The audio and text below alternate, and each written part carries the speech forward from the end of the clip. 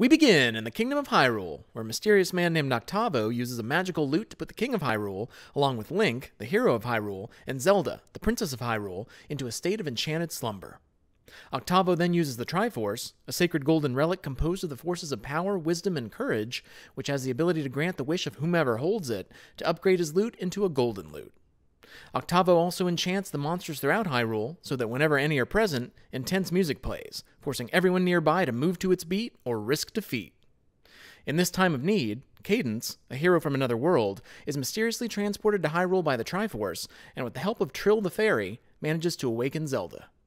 While Cadence ventures off to try and find a way back to her own home, Zelda travels across Hyrule, battling through dungeons to find and defeat Octavo's four champions the base Guitarmos Knights in the Gruta Ruins, Gleeokenspiel in the Temple of Storms, Gohmaracas in the Lost Swamp, and Wizzroboe in the Frozen Grotto, each of whom possess enchanted instruments containing musical power.